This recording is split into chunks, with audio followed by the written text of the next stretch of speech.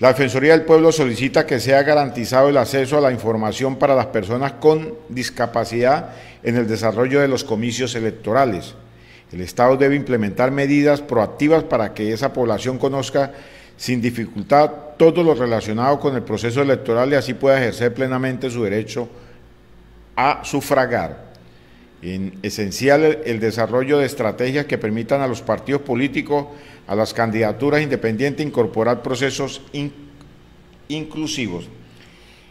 Vea que no hemos visto aquí en Arauca, sobre todo en Arauca Capital, no hemos visto un candidato que esté implementando para estas personas con condiciones de discapacidad, como los llaman, podemos, el que tiene problema visual, el que tiene problema de oídos, el que eh, la persona de la tercera edad, personas eh, que están en sillas de rueda, o sea, de pronto no creo que han hecho la pedagogía cómo deben de votar eh,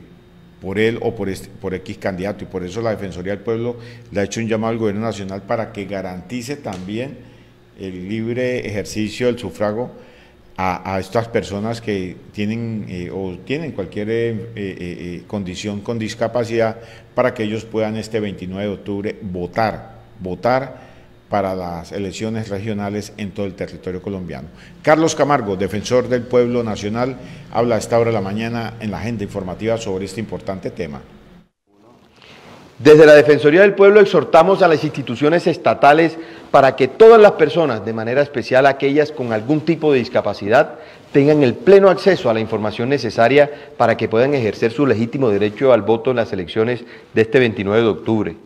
Es fundamental que el Estado implemente medidas proactivas que garanticen el acceso a la información de la población con discapacidad durante el desarrollo del proceso electoral, con el objetivo de que haya unos comicios representativos y vinculantes para todos los ciudadanos inscritos en el censo electoral.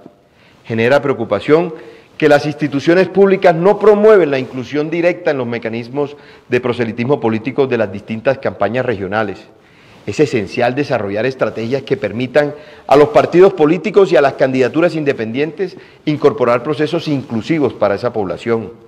es primordial, en consecuencia, la activa colaboración con diversas organizaciones en pro de las personas con discapacidad, con el fin de garantizar que la información no solo sea efectiva, sino accesible para todos.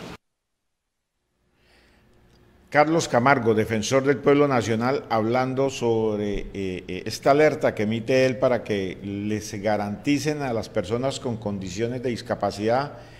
que puedan elegir este 29 de octubre a su alcalde, su gobernador, sus concejales, sus diputados y también sus édiles.